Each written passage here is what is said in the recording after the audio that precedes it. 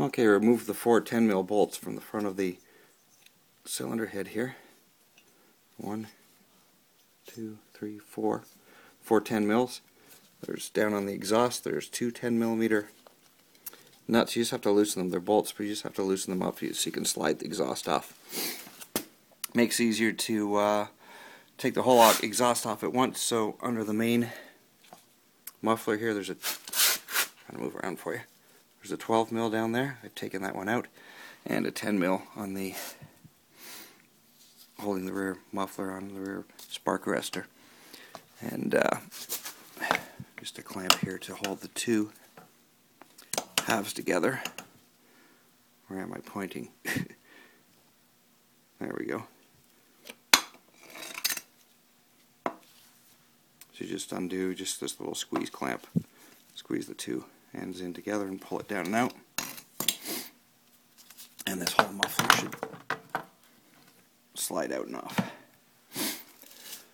And now we're going to remove, well, there's the cylinder head off. I've already decarboned the cylinder head slightly. Just pull it off and lightly decarbon it, see if it would make any difference. It didn't, so anyway, that's off.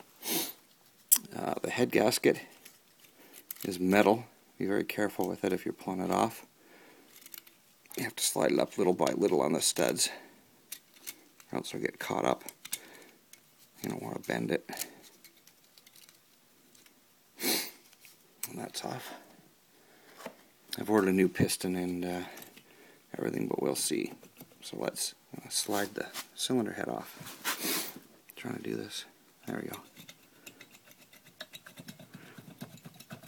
Oh, you'll see for the first time with me what this piston looks like. Oh.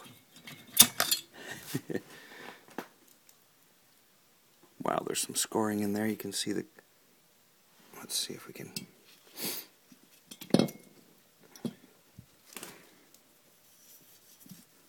Wow.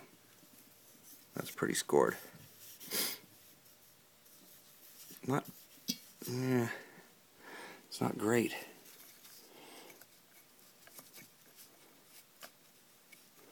The rings are not stuck. If you can see the piston there, you can see the piston rings, the top and bottom ring on there. They're not stuck, but they're not happy. There's a lot of carbon in there.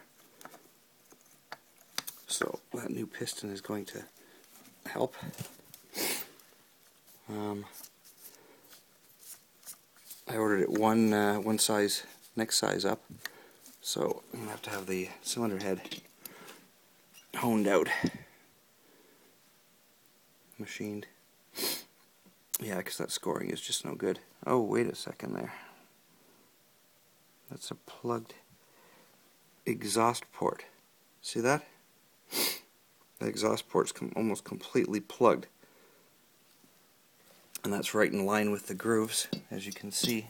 The grooves inside the barrel there. So that exhaust port got plugged up and that carbon was sitting there getting grabbed by the rings every time they came up and back across the the port and eventually scored the cylinder wall.